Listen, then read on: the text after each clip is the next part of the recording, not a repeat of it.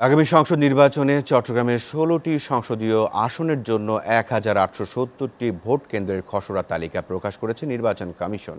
আর এই তালিকার সত্তরটি কেন্দ্রের বিষয়ে আপত্তি জানিয়েছে স্থানীয় জনপ্রতিনিধি ও আওয়ামী লীগ নেতারা। কিন্তু অন্য কোনো রাজনৈতিক দল নির্বাচনী এই প্রক্রিয়ায় অংশ না নেয় ইসির এই উদ্যোগ বিতর্কিত হওয়ার আশঙ্কা করছে রাজনৈতিক বিশ্লেষকরা।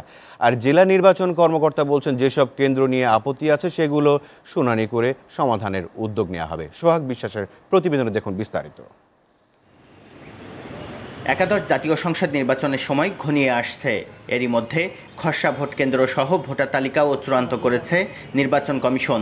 অন্য সময় কমিশনের এসব কার্যক্রমের দিকে রাজনৈতিক দলগুলোর তীক্ষ্ণ নজর থাকলেও এবার তেমনটি নেই। তাই নির্বাচন কমিশনের নির্ধারিত এক হাজার আটশো সত্তরটি ভোট কেন্দ্রের মধ্যে আপত্তি এসেছে মাত্র সত্তরটির বিষয়ে।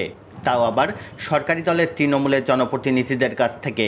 আমার সাবেক যে জায়গাটার মধ্যে মানুষ ভোট দিত সে সেন্টারটার মধ্যে আনার জন্য আমি অনুরোধ করি। একসাথে যদি চারটা পাঁচটা কেন্দ্র একসাথে হয়ে যায় সেখানে জনগণ এসে সমস্যার সম্মুখীন হয়। রাজনৈতিক দলগুলো স্বতঃস্ফূর্তভাবে নির্বাচনী কার্যক্রমে অংশ না নিলে পুরো প্রক্রিয়ায় বাধাগ্রস্ত হতে পারে বলে মনে করেন এই বিশ্লেষক। তারাও তো শেষের দিকে একটা আপত্তিও দিতে পারেন সবগুলো ব্যাপারে তারা সন্তুষ্ট নাও থাকতে পারেন। তো তাদের যেগুলো আত- আপত্তি আছে সেগুলোর বিষয়ে নির্বাচন কমিশনকে আবার দেখতে হবে। এবং সেটা না দেখলে নির্বাচন কমিশন আসলে বিশ্বাসযোগ্য হবে না মানুষের কাছে যে কোনো দলের কোনো কিছুই তারা দেখলেন না।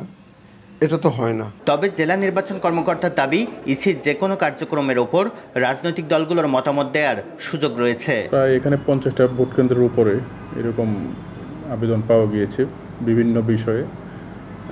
ভোটার সংখ্যা বৃদ্ধির কারণে কেন্দ্র পরিবর্তন চাচ্ছেন। জনগণের অসুবিধা হচ্ছে যাতায়াতে।